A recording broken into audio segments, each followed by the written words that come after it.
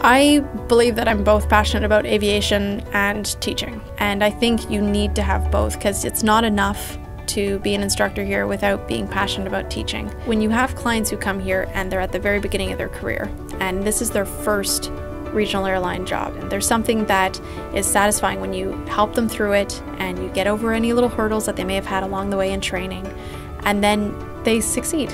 So when they succeed, we succeed. Personally, I think my best skill is adaptability. I could teach you the same thing 65 different ways. You have to connect on a human level. This is because there are so many variables when you're teaching someone, and some of them are very subtle. And you have to make that person feel like you are working with them. But if I was just talking to you and telling you what I know, that's not instructing, that's lecturing. So you have to know the subject very well, but you also have to make the people love the subject that you're teaching. And that's, that's the real skill. And you either have it or you don't. I like to interact with people. I like to know what is their background, uh, get to know them personally so that it's easy to communicate. If there is no boundary, there's good communication, you can part with knowledge much easier.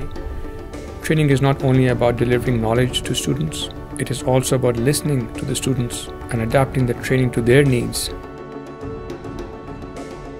You don't have to be a very good pilot to be a good instructor, and a good instructor isn't necessarily uh, the best pilot. So those are very different skills. The most important thing to pass on to your students is to let them know you're a team. You work towards the same goal and in the end you have the same goal because they want to pass their uh, license uh, proficiency check or their skill test and in the end as an instructor you want, basically want the same. One time you want to be uh, the shoulder to cry on and the next time you have to say hey this was not so good so uh, be fierce on the content but soft on the person. And that's why communication skills become a very important skill as well.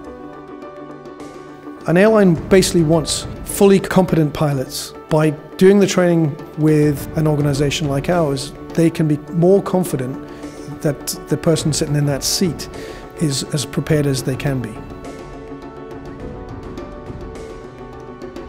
It's not about me when they're here. They have to get through their rides, they have to be successful, they've got to learn the material. So we have to make sure that it is us adapting to the clients. So at the end of the day, we have to make sure that the training is more than just what happens in our building here. They have to be ready to handle real world scenarios and make it a safe flight for everyone. All instructors that I've ever met love to learn new stuff. And if they learn new stuff, they have to teach someone else to show you how this airplane performs and how you do the procedures. Everything I use is just a tool.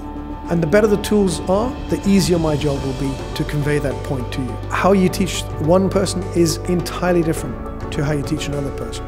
That can be quite challenging when you've got eight people in the room because everyone's learning differently. And you have to then keep coming in at different angles so that they get it and, and really make it interesting for them to, um, for them to absorb. By training them the right way from day one and then maintaining that same standard right through the training, you know that you're going to have a good product at the end.